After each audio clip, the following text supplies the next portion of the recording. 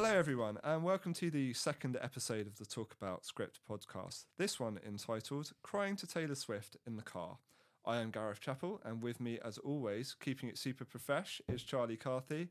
And joining us this week is the one known as Ali, fresh from drinking spicy margaritas and making very, very bad decisions. Hello, everybody. Hello, hello. Hello. Right, so our theme this week is going to be mainly lighting. We're going to talk about Fall Guy, we're going to move on to Kodachrome, and then a little bit on Scott Pilgrim. So, moving straight on, I'll start with you, Charlie. So, first of all, give me your impressions of Fall Guy. Fall Guy.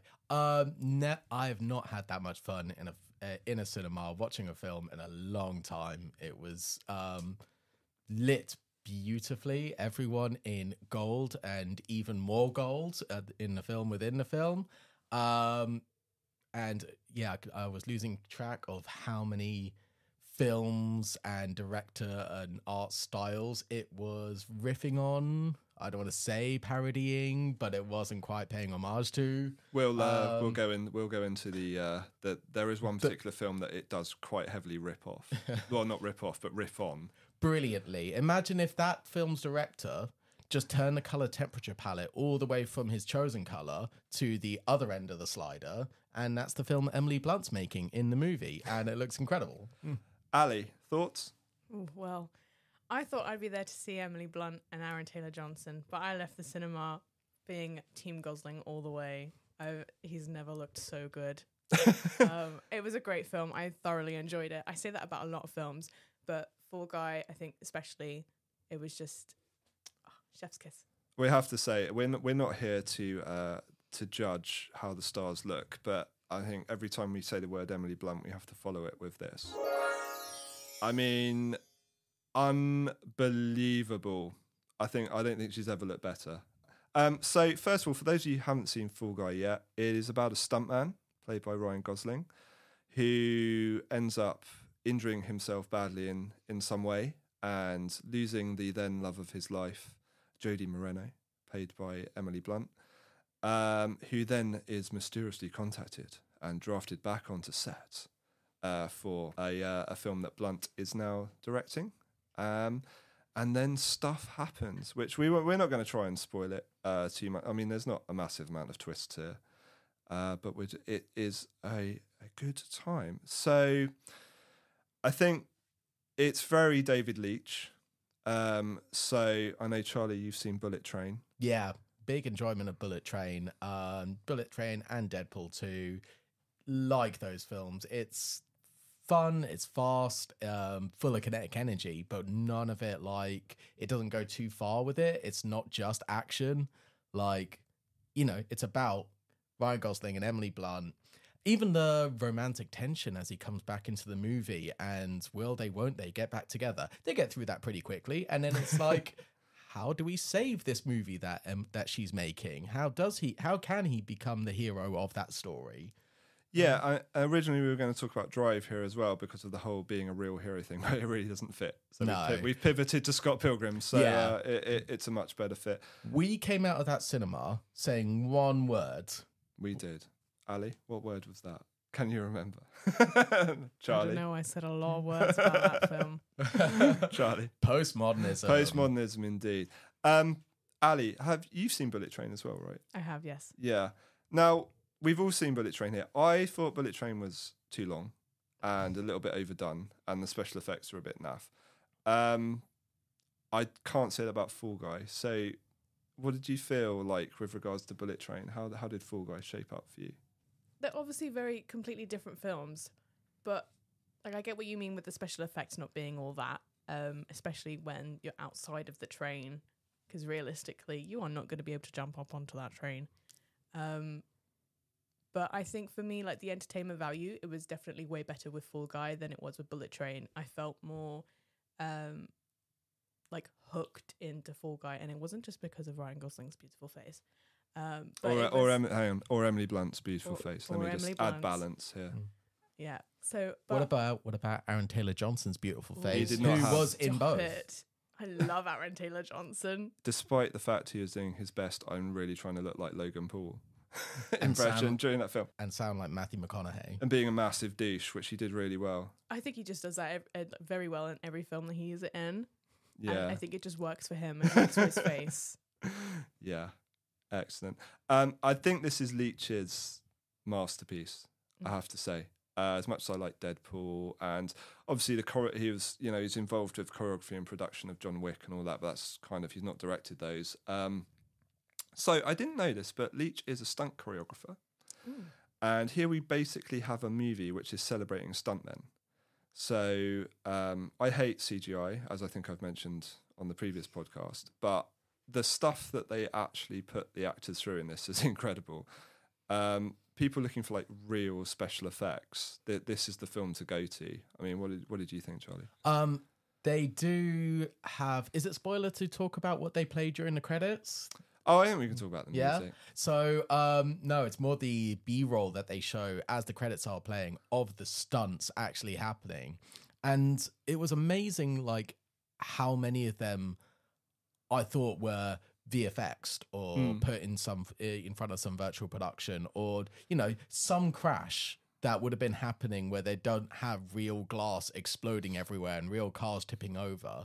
Um, but it was amazing to see the actual stunt guys doing it, and clearly, like putting that after the end of the movie is Leitch's um, very clear messaging to people that yeah, these are what's real stunt guys do in a movie about a stunt guy. It's a very, I Um, mean, it's not subtle when he literally turns around and goes, "No, there's no, Oct- there's no Oscars given for stuntmen." and the fact that the stunt crew um led by i loved um winston duke as the stunt coordinator character in the film um but how all the stunt team become the heroes led by gosling um that's that was an amazing moment It's Um, almost like they're looking up to him. Yeah some kind of superhero type leader. This was a, Well, I- another discussion we had. yeah that was yeah have you settled on that is that the genre that this is yes, I mean, because we were debating this um, for a good while after coming out of the cinema. well, I'll throw this over to Ali. So, that just just from this simple point of view, you don't need, don't worry, you don't need to be deep in our genre. Well, okay, cool. I'm just going to throw this over to you. Did he seem like a normal guy to you, or was he more like a guy with really super skills? I mean, at first for me, it was he seemed like a normal guy, and then when we started getting into the more of the action kind of scenes, he did seem like like there were moments in my brain where I was like, oh my god, he's actually really skilled at this. But Mhm. like there was no super kind of skills here. This is all just stuff he could have learnt as a stuntman. Yeah, but I think he's above the normal man. I think Oh, so. absolutely. So we were arguing. Well, you know, this is very Blakeian, Blake Snyderian. Uh, we were arguing whether this was like your dude with a problem, the ordinary guy in an extraordinary situation kind of movie. You know, your diehards, your Martians, things like that. Uh, but I think we settled on that it was more like the superhero thing where you're you're so good at something, people are jealous of you, and then you kind of you you raise up the ordinary man who then kind of looks up to you. I mean, the reason he gets injured in the first place is is kind of based in that. We won't go into the super details of that, but yeah. So I think it's very Leitchian if you look at his other movies. You know, Deadpool, obviously, and Well, all of his movies have All of been all of his super, movies. superhero. even John Wick. yeah, John Every- Wick, Atomic. Blonde. Yes. Um, so it, it it's not a massive stretch. It's just not the the Marvel superhero vibe. Uh, it's more like the Robin Hood, the Gladiator, the, the that kind of thing. So yeah, I mean, briefly on that, it, it, it is that kind of film. Um, but it is. Oh my god, it is such a good time, isn't it? Um, Absolutely. I think the stunts not being CGI outside of the movie, which is quite clever, the movie within the movie, um, just does give it that visceral, real feeling to it. And they're spectacular as well. Like, any come to mind? For me, it was when uh, um, Gosling and one of the my favorite character in it, Jean Paul, Jean Um, Paul. yeah, are climbing from the truck to the skip that's on the back of the truck they're chasing. Oh, and yeah. fighting the guys, the the two goons in the skip, and in from the uh, back of the cab of that truck, um, while glass is shattering, they're crashing through the streets. And that was one of the first ones they've showed during the credits of, hey, this was they actually did this. They actually dragged this thing through the streets of Sydney. Um, Yeah. with I- guys inside beating each other up. I am amazed that that was not done virtually. I am absolutely stunned that no one died. Uh, that is like proper 19 mid 80s Hong Kong, you know, no health and safety Hong Kong movie The kind, choreography. the kind that you'd see Michelle Yeoh in. Yeah, I mean, well, I'm sure we'll come on to Mel- Michelle Yeoh at some point in the future. It seems inevitable. But yeah, What Ali, you, Al? can you think of any? I I mean I liked all the stunts, but there was like you know when he's constantly being thrown onto the rock. Yeah. I think that was my favorite. That's amazing. Very comedic. The uh, the the the relationship workout scene. Mm. which I believe ends with one of the best and most disturbing quotes I've ever heard, with Emily Blunt referring to her love life of that being like a sushi carousel. um, yeah, uh, one of the greatest lines ever committed to film, uh, ladies and gentlemen. It's a, it's a special moment for everyone involved. But yeah, it's, even that just shows you how dangerous such a, seemingly repeated shot is. Um, yeah, so we had a good time. I mean, so we were looking at this in terms of how it could be useful to people, as we always do, because you know we're incapable of just sitting and enjoying something. Um, and I mean, the script is okay, the characters are okay. It's all kind of played for laughs, and it it works, but it it's written in such a way that it's quite ironic and quite self-knowing and all that kind of stuff. So really, what really is the highlight here, I think, is the lighting. I think is what we identified on. I mean, let let us not forget Emily Blunt. Whoever whoever did her lighting should follow her around for life. I, I would say. You tur- they you, there was a point in the cinema you turned to me and were just saying, "She lit from the side, side profile. It's amazing." She's lit from the side. They're doing it again. yeah. Um, I first noticed it, like thinking back, it was that moment that is the title of this episode, um, when they're sitting in the car listening to Taylor Swift. Um, and we see both Gosling and Emily Blunt have this, yeah, this side profile lighting. Um, yeah. and it just makes a beautiful glow around. I, around I'm them. gonna I'm gonna ruin everyone who's listening's lives right now. Okay, this has happened since I watched Batman. There is now a thing where what you do is you light you light the subject from the side, so it creates light a, a really nice light on one side and depth of field on the other.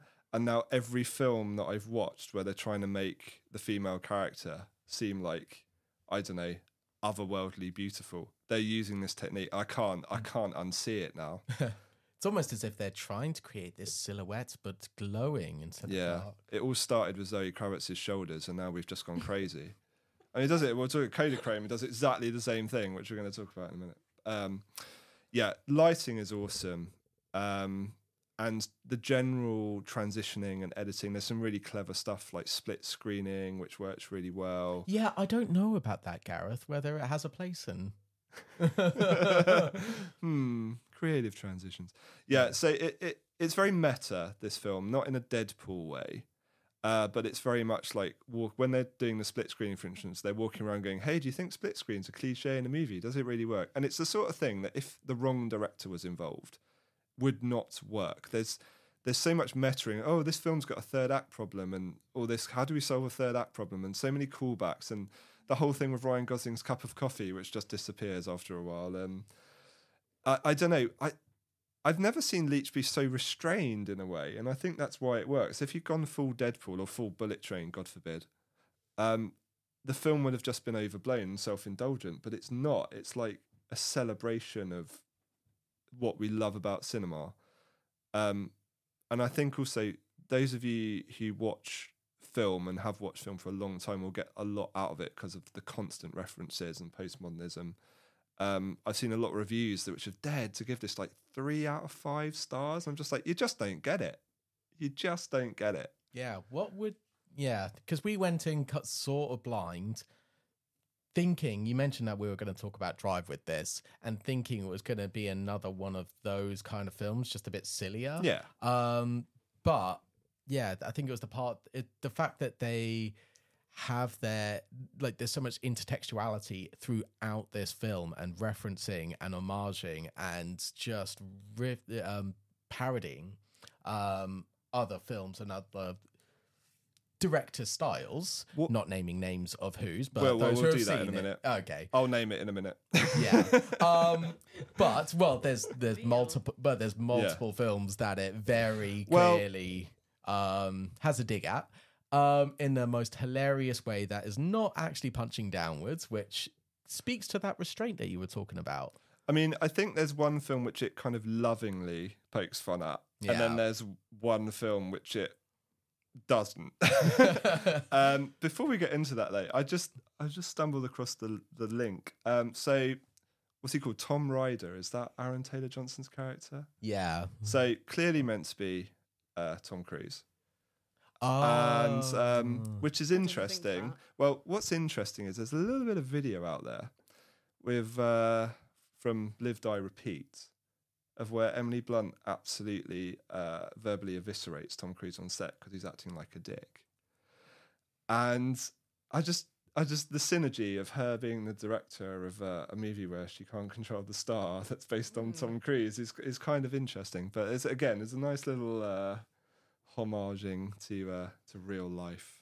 Uh, never mess with Emily Blunt, by the way. If you've seen that video, oh my god, she does not take any prisoners. Um, but so if we get into these movies, like the postmodernism aspect of this, the movies that we're referencing, did you pick them up, Ali? Oh, well, there was definitely references to Dune, I mean, that's the loving one.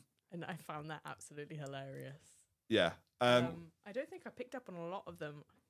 that's I mean Dune is the main one done with love and care and like jumping onto the, and just playing the soundtrack from Dune. Also we have when uh Gosling's getting out of the water, you get the uh the Daniel Craig Oh yeah, Bond's music, which is hilarious. But um the movie which it doesn't treat so carefully is Charlie Rebel Moon. Rebel Moon. Rebel Moon and Oh Zack my. Snyder just at the end very overtly as it starts to show the film within the film. Um, I mentioned the color palette and the way it's lit before. Um, Snyder tends to have a just turns everything blue in his older films, either blue, very very blue, or in films like 300 and Rebel Moon, very very gold. Doesn't do orange. subtle, does he, Mr. Um, Snyder? yeah, there's no there's no like middle ground in a color temperature slider. It's just one way or the other. Um, and this is very obviously Rebel Moon as they show oh the you know the actors swinging their prop swords around The Space Cowboys. the space cowboys fighting the aliens as the, and they start glowing and the very very amazing cameo Oh yeah, I think we'll leave that one. Yeah. but, yeah, but uh, but also the uh, the the the swords that they're swinging around are look like electric guitars. Absolute genius. Uh, yeah, it doesn't treat Rebel Moon with uh, as much care and attention as something like Dune, but you know we've all seen Rebel Moon. Doesn't deserve to be treated with any form of care and attention. Absolutely dreadful film. Um, so yeah, it's filled with postmodernism. It's got beautiful, beautiful lighting. Um, the colours are really nice as well. Um, but Little Leitch's films, Bullet Train has got really nice colour. Not even I can mean about that as much as I think the film is a little bit, you know. Um, but it it's this is the right length, it's the right pace, it's the right structure. I, I anyone who comes out of the cinema who doesn't enjoy themselves, I think really needs to have a look at them, look at their life, um, and, um, and what they're trying to get out of the cinematic experience. Yeah, normally in a cinema, I'm one of those people that kind of likes to just shut up and watch the movie. This time, we were all just howling with laughter Yeah. by the end. And if people around us weren't, it was begging that question of, what do Why? you go? Yeah, what are you going here for? I think there were a lot of people in the cinema that definitely weren't laughing. Well- we were definitely the loudest. I almost gave it a standing ovation at one point. Not at the end of just that there's a bit that happens which is so cliched, and I was like, no, they're not going to keep turning it up and up and up on how silly this is, and they do, and they do, and they do, and then the moment happens, and I was like, that that's like standing ovation. Well done, you went there and you pulled it off. Brilliant, absolutely brilliant. Uh, there's also obviously riffing on Mad Max as well, I should add, but everyone riffs off Mad Max, so does it even count anymore? But yeah, um, go for the stunts, admire the lighting, look at the creative editing, and stare longingly at Ryan Gosling and Emily Blunt in their. Heavily on the Ryan he- Gosling. well, I mean, you're wrong, but you know, there we go. Um, and yeah, it, it, they've never looked better. I don't think. I mean, the film is awesome. I'm definitely going to be watching it again. Oh, absolutely. I, might even go again this week. We'll see. We'll see how it goes. we'll see how it goes. I was goes. very tempted this weekend. yeah, I, I haven't had so much fun in the cinema. I can't even think the last film I came out of, Cross the Spider Verse, maybe, but not in the same way. I, that was just like, oh my god, I'm adrenaline fueled. But this was just like such a good time. I, I, Not even when we saw Kung Fu Panda 4. I mean, no. As much as that had um, K that had Ke Quan in it, but I, I I mean, no, the Marvels was a good time. Don't at me, um, but not in the same league. I, I honestly can't think. I'm trying to think. Probably, probably Endgame. I'm going to Yeah. say it. Really? Probably Endgame. I think it's that long ago that I had such an actual good time in the cinema. Yeah, because we've seen films, um, probably like Godzilla, that left us like Yeah. stunned Emotionally Um, complex. and like we felt it. But for a film that we actively, you know, laugh out loud, wanting to cheer for, like like you said, wanting to give a standing ovation for, um, yeah, there's been a moment like that since since Endgame. Yeah, I think I'd say across the Spider Verse. Me, I know you disagree very wrongly, Charlie. We're not going to get Uh, that. that's that's another podcast. Charlie's insane thoughts about the Cross the Spider Verse. I'd like Um, to join that one.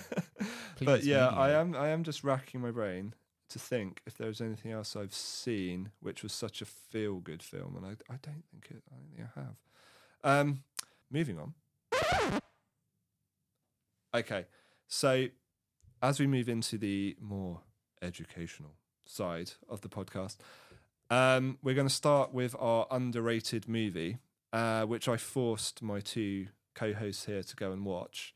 Uh, I don't actually know Ali's opinion on it. I know what Charlie's is, but buried on Netflix. Funnily enough, there's a there's a pattern here. Way back in 2016, it's not even had a DVD release, and it's not been on terrestrial television. Is a film called Kodachrome. Uh, Kodachrome stars Jason Sudeikis or Ted Lasso, as he's otherwise known. Uh, Ed Harris and Elizabeth Olsen, otherwise known as Scarlet Witch, uh, in her day to day life. And it's basically the story of um, a estranged son and father who undertake a road trip to get uh, some reels of film developed uh, at the last place in the country which is developing Kodachrome because the dye is running out. And just to add a bit of emotional weight, the dad is also dying. Oh no. Um, but it's actually quite a sweet film. Uh, so I quite like this film. I think it's underrated. It's quite an easy watch. I've seen it a few times. Um, so, first of all, Ali, thoughts? well, mm, okay. Oh Um, dear. I would agree with you when you say it's an easy watch because I it was it was easy. I didn't really have to think. I didn't have to focus that much. Um, I didn't think it was a sweet movie. Oh, interesting. Um, I feel like some parts were a little bit rushed, and then I, I like especially at the at the end where everything. Am I allowed to spoil? I mean, it's been out for a few years, hasn't it? I mean, it's 2016. I think you're safe. I can play the spoiler horn.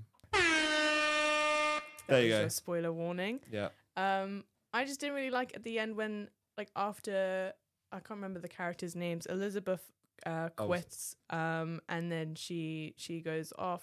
See, I I can I'm remembering this because I was what I was playing Power Wash Simulator at the same time. Dedication to the podcast, ladies and gentlemen. I can multitask really well. By the way, shout out to FuturLab, the very talented developers of Power Wash Simulator. Absolutely. They're great. Um, and then all of a sudden he's in the hospital and uh, I don't it was his name's Ben. What's the main guy's name? Jason Sudeikis. I never remember. Oh, character's name. okay. Jason Sudeikis. so he, the son, he's the son, Matt. oh, Yeah. Matt. Ed- that's yeah, it. there you go. Sorry. Ed Harris So- being the dad, Ben. Yeah, Although Ben. the one that Matt that the son never calls dad, that just calls him Ben. Yeah. See, that's what I didn't really like at the end. Like all of it like he's dying. We know that. And then he's been told by the hospital staff he's not going to make it to Kansas. He won't even make it to New York. And then all of a sudden he's calling him dad. Uh, and he's he's in the hotel room and he's like, "What should we do for dinner?" And then like, I mean, it was kind of emotional, um, and quite sad to see like how quick it happened for Ben Mm. but then like i feel like the ending would have had more emotion like hit the audience more if we didn't see that moment where matt decides that ben is actually like his dad I see what you're saying. Um, I think as we're in this golden fleecy realm, I think really Ben's role really is just to draw the other two characters together. Yeah. Um, and I He, think he directly calls it out. Like, Yeah, I in mean- the first Absolutely. third. Yeah, and I, I think Charlie, I'll come to you for your thoughts on the film generally in a minute. But I think I think the um, that kind of ending sequence is really just about Jason Sudeikis' character's Matt uh, just letting it go, like actually saying enough is enough. Uh, just as kind of syner- synergizing with uh, Elizabeth Olsen's character of sometimes you just gotta let the baggage go uh, to move forward. I think that's kind of what they're going through. But I do I do get where you come from, especially if you know what the ending is. Um, Mm. when the, the film is developed, I mean, it's not going to be a massive shock to people. But uh, Charlie, first time viewer, thoughts? Um, yeah, really enjoyed it. Nice, easy watch. I initially was going to put it on in the background, and then it very, very quickly gripped me. I I, could can't. not do anything else. Can't imagine why that would be, Charlie. Yeah. yeah, again, we'll save that. That's not even the other podcast material. But it was very quickly gripping. Um, really got into it. Um, yeah, uh, very easily a Golden Fleece movie. Love the journey. Love the music. Yeah, it's it's the linking of music into the the mo- the special moments in lives and connection Yeah. with characters is quite cool. Fall And- Guy does that as well, by the way. Yeah, um, that was the that was that was the part that really like surprisingly grabbed me. Um, when you when you suggested uh, uh, we watch this movie and talk about it, there was a point that you mentioned, Gareth, that you wanted to cover about lighting. Yeah, so the reason because we were coming off Fall Guy with lighting and, and the cross lighting, they're, they're, Kodachrome does something really clever, and you, this is one of those things where you go on the internet, there's nothing written about it, so you have to use your own brain to work this one out. Um, basically, Elizabeth Olsen's character, who is kind of the nurse, stroke personal assistant of uh, Ben, who's dying, the main character Jason Sudeikis' character is kind of really cynical, and he's coming off a divorce, and uh, you know they're both broken. Basically, surprise, surprise. Golden Fleece, broken characters going on a long journey. What's going to happen? Um, but obviously, as Elizabeth Olsen's character and Matt get to know each other better, his thoughts about her begin to change. And what they do is they change her lighting. So what you'll get is something that only happens when the two of them are together they will turn and look at, or he will turn and look at her, and, and you will get a shot of Olsen framed beautifully, almost like a photograph. Uh, and they'll gradually change the lighting. So it starts out quite distant and quite kind of formal. I think they first meet in a it's- diner. It's very um well not even in the office when Yeah. they first meet, everything's very muted, everything neutral. And then as they start the journey, um start you know and make their stops at a diner, at a family, at a relative's place, um, and then going on to a music gig. Um they go from neutral to like this beautiful dark and golden color that's very Fairy tale like, isn't it? It's Yeah. kind of like that. He he goes into the, the kind of uh, kind of uh, vibe for a little bit. Um, I will agree with Ali about things being rushed. I thought that was very quick. Um, when he just starts o- very openly declaring that he's that he's falling for her. Um, mm, Well, maybe that- not in those words, but It kind of just starts like when they're at um the uncle's house, Matt's uncle's house, Ben's brother, when um like he starts drinking and then um Elizabeth Olsen is in her in his old room in his bed and he comes in all drunk and he's like, My aunt thinks you're beautiful. I mean, nothing's more attractive than the drunk guy, is it? You know? But even that felt a bit weird. Like I, I, I paused Power Wash Simulator. I was like, what is going on here? Why is this happening now? It doesn't really, though, does it? He ends up like it takes yeah, it it falls it, on the floor. it takes so- the um you know the the second third of the movie for this to for them you know yeah, you for have it to. to actually happen. Elizabeth Olsen has to get her demons out first Yeah. before, so they both fully are aware of each other's baggage and damage. and he has to, as she calls out, has to let his guard down. Exactly. Um, but yeah, by that point, that's when uh, the note I wrote to Gareth was goes from neutral to gold to glistening to cold. Yeah. Um, and it's that point when you know in that second third when they finally are you know when she's let her demons go and they start um, embracing their feelings and each other. Um, that yeah, that's where we see that glistening light. You know, he t- as he said, he turns to look at her. She's got this side profile lighting on the Yeah. side of her face that gives this shimmer, um, mixed in with more warm colors and goldness and um, lots of small lights in the background out of focus, making that beautiful bokeh. Um, it's almost as if, yeah, this was framed for photographers. Yeah, I, I think it's interesting. Well, when they kind of um, meet up at the end of the film, a lot of the glow has kind of gone. Uh, so it's almost like they're looking at each other. They've they've kind of he's kind of looking at her like, oh, you're the answer to everything. Um, but then by the end of it, it's like he's still they're still attracted to each other, even though they now see each other outside of the fairy tale, which I think is more important for the kind of longevity of the film. So it's like, hey, I understand. We're both damaged. Let's work through this, as opposed to the like, oh, Scarlet Witch is hitting on me kind of vibe. Um, so that only works if you're saying it in Ted Lasso's accent. yeah, it's like you know, a man of my age, Elizabeth Olsen doesn't do an awful lot for, but I, I understand that she might be uh, she might be described as pretty in a conventional sense. Um, Is that is that is that one of the lines that Ed Harris says? yeah, Something Um, like that. yeah. but it, it, it is a it's beautifully underrated from a, a framing and lighting point of view. It just kind of snuck onto Netflix. Um, Um, I was absolutely stunned that I hadn't heard of even heard of this film Yeah. before.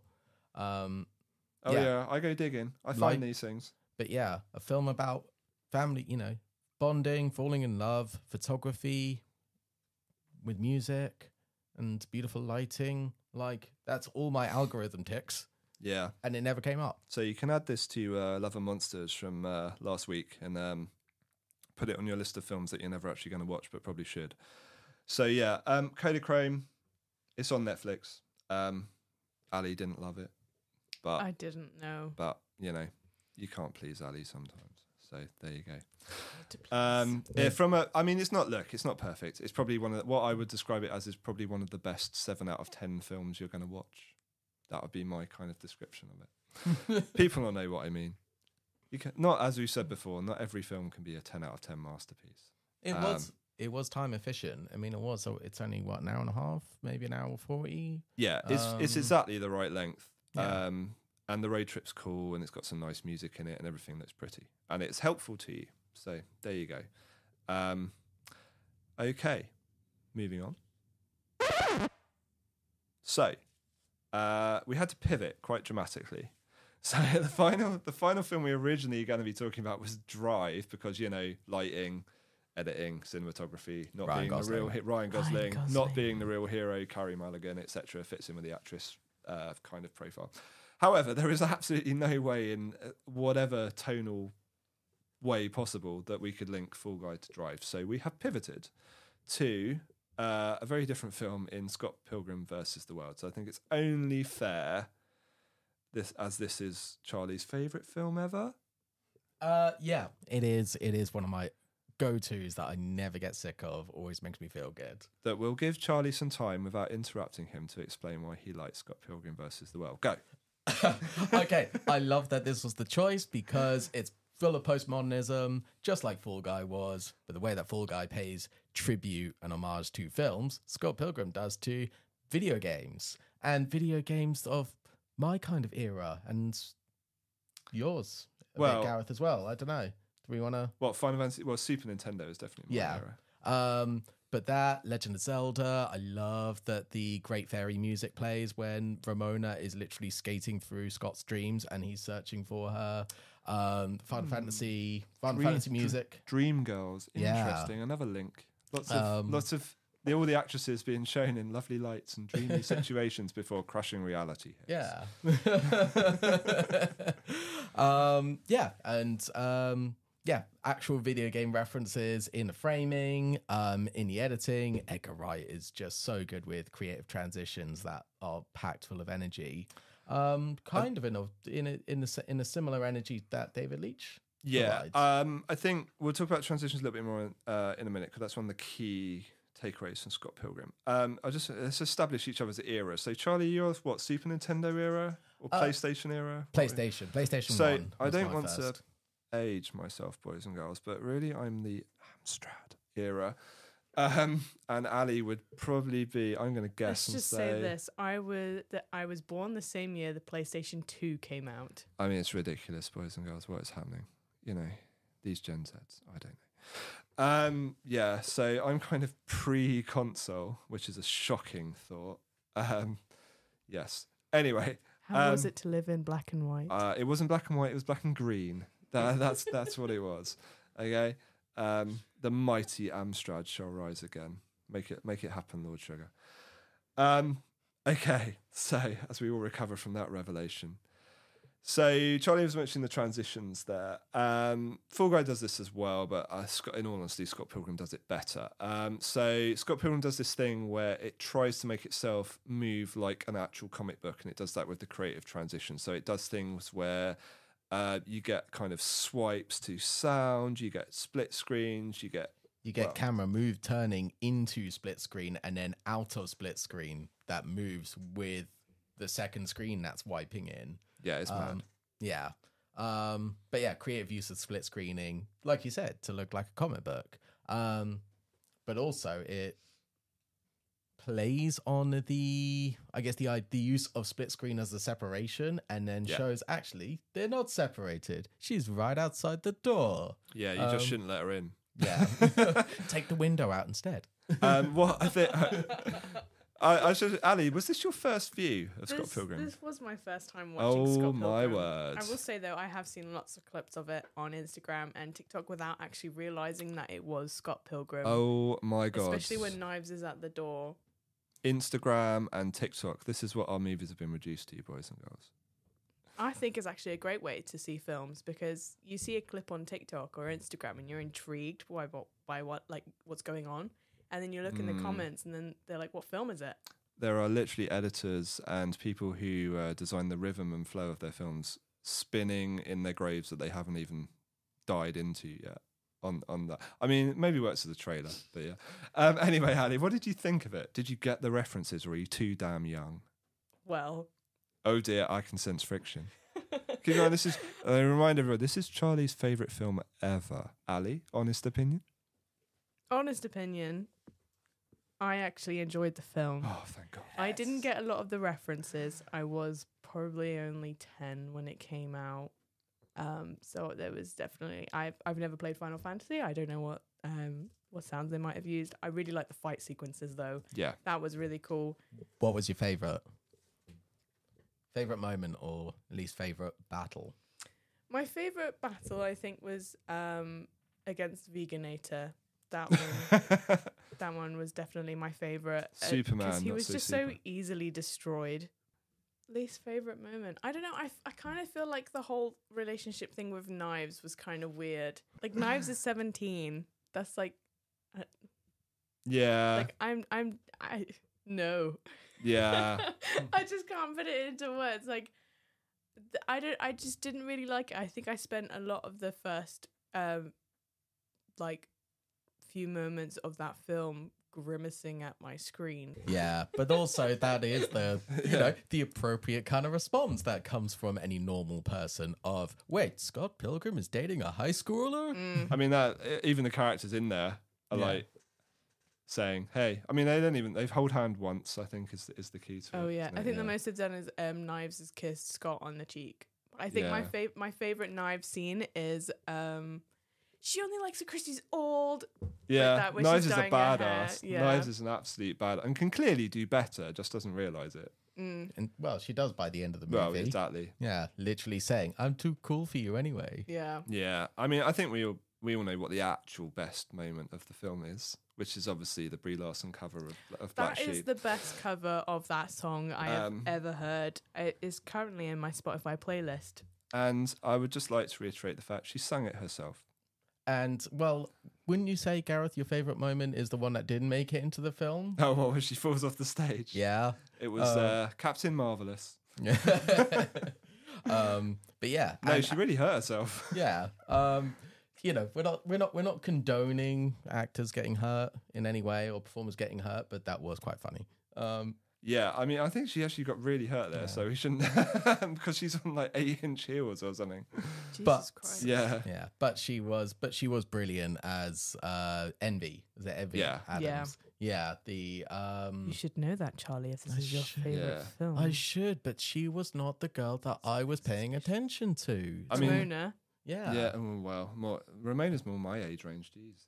but Um, yeah, I mean, best one of the best cameos I think in a yeah, in a, in a show. between between her and um, I'm with you, Ali, about the best battle against uh, Todd. Mm. Uh, Yeah, the base Yeah. battle um, with the flying cups. fl- Flying towards Scott like a like particles in a Final Fantasy game, um, while his glowing vegan superpowers help him play bass. yeah. Um, absolutely incredible, and the fact that it was Brandon Routh in it is is such a great cameo. I just have to ask you one thing, Charlie. Is that the reason why you became a vegan? Um, it was not the re- it was not the reason I became a vegan. Um, and when I stopped, I I seemingly gained back my regular human powers. yeah, Cha- Charlie gained, gained the power of nutrition. Yes, I gained the power of sleeping properly. Charlie gained the power of good blood sugar. um, yeah, that's a whole nother podcast. Charlie's journey back to uh, Back to back to Back to College, back to back to nutritious health. after uh, yeah, But um, yeah, so being vegan didn't actually give me superpowers, unlike Brandon Routh. I think that is just from being Superman. Um, yeah.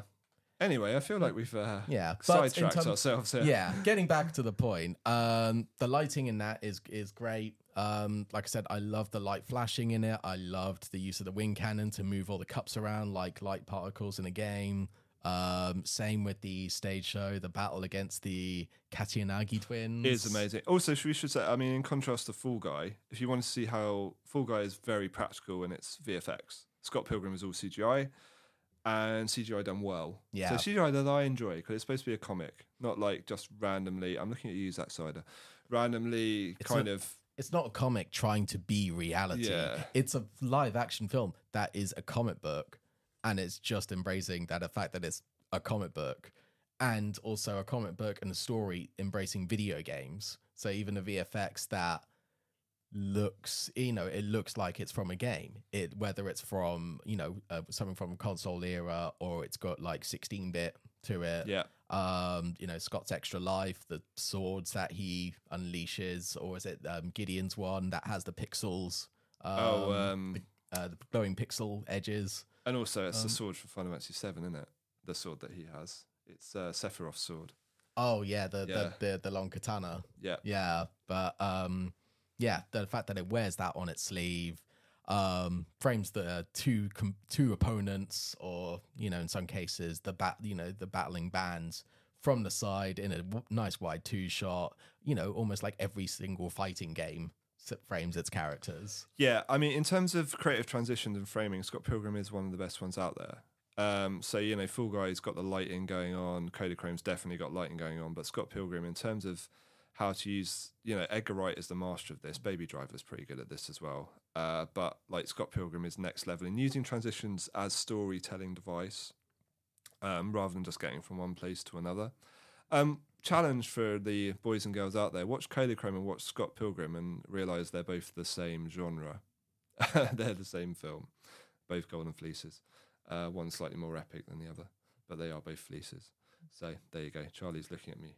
He's Well, not a I'm like- He's literally called Scott Pilgrim. yeah They literally say a pilgrim has to end his journey. no matter how many times i hear this or think about it it still surprises me oh yeah he's a pilgrim He's a pilgrim. She's the prize, but he learns self-respect along There the way by literally getting on with his evil self. Yeah, he doesn't. He doesn't. Uh, he doesn't win her. He wins self-respect. So there you go. And then the two damaged people go off together, and Knives is free of her abusive relationship. That's that's the real story. Yeah. that is the real You story. could put it that way, yeah, sure. Yeah, you- the two absolute sociopaths go off together to be kind of all arrogant somewhere else. Um, any thoughts on the soundtrack for it as well? I mentioned I talked about the use of video game music, but what about like the actual soundtrack? Because that was something Kodachrome had. Uh, you know, did use well as well. I mean, sounds most of the sound, the band itself, the songs are awesome, of course, in their in their own way. Um, yeah, the soundtrack for all three films is is. I mean, Fall Guy does that really clever thing where it starts using actual pop songs as part of the score, which I don't actually remember hearing or seeing before. Maybe Leitch has done it before, I don't know. But Thunderstruck is the score for about 20 minutes of that film, like underneath, without the lyrics playing. It is. Is it is it Yeah. Thunderstruck? Uh, Not start, I Was no, Made for Loving starts with Thunderstruck and then it moves on to I Was Made Oh, for I Loving didn't You. I think, that. yeah, yeah. Um, but I haven't heard that anywhere else. Um, obviously, Kodachrome just has cool music playing, and Scott Pilgrim is also there's all sorts of orchestral, pixely synth stuff going on, isn't there? Yeah, but also just with good, good late nineties, early two thousands grunge music, Yep. written by Beck, um, and then played by Beck over the credits.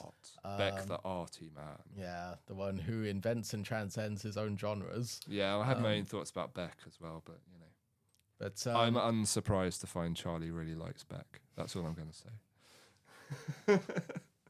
um, and even using music as a superpower. yeah, Um, yeah. failing at first and then finding the strength in it with his bandmates at, on at least one extra occasion later on. Maybe Yeah. two if we talk if we including the final boss battle. Yeah. Oh, yeah. I mean, it's all about it's all about you know him trying to be a better person, and then he hasn't learned anything by the end of it. But there you go.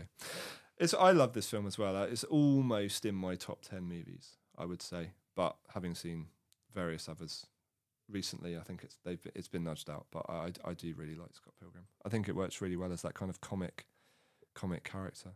Anyway, um, okay, right. I think we should round this up because time is ticking away. So, um, we've learned that lighting and framing is good, boys and girls, and you should go and watch Fall Guy in the cinema. And if you come out feeling miserable, well, I don't know what to do for you. Um, I don't know what our next podcast will be. I have a horrifying sense it might be Phantom Menace related, but we'll see how that goes. Uh, X Men 97 is also on the horizon somewhere, and I'm sure we'll manage to get Drive in there at some point as well. Uh, so thank you for listening, ladies and gentlemen. Uh, if you want to get hold of us, we are on Instagram at Talk About Scripts and also on Twitter um, at, at Talk About Scripts. So questions, feedback, all of that stuff is good.